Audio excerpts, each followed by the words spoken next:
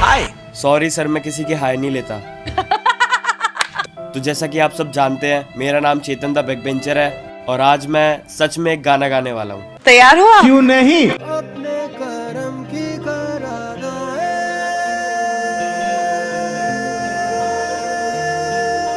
साले तू अरे। अरे वो क्या कर रहे हो? अरे ये क्या कर रहे थे आप? ये क्या हरकत ली आपने? क्यों? आई मीन आई मीन क्या सोच रहे थे उस वक्त? अभी बता दे भाई। ये क्या ये क्या कर रहे हो आप?